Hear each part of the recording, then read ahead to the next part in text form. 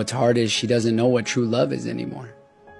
She doesn't know anything because when she gets in a relationship, after what she's been through, as soon as somebody actually shows her true love, she doesn't believe it's normal.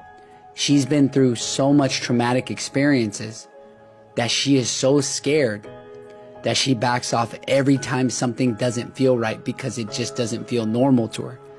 She's been through narcissists. She's been through compulsive liars. She's been cheated on. She's been beaten. She's been told that she was fat. She wouldn't amount to anything. So when a man comes into her life and shows her romance, flowers, candy, he doesn't raise his voice. He doesn't raise his hand.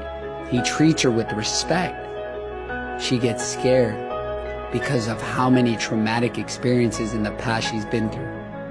And it sucks because of the fact you can you can be patient as long as you want, but it's going to take years for her to actually realize what true love is because she's never experienced it.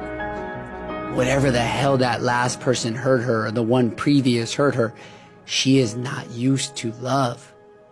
And you have to be patient if you want her to drop her walls down, her barrier to her heart. It's going to take a long time. So remember that this is all new. This is not normal to her and it's so sad. It truly is.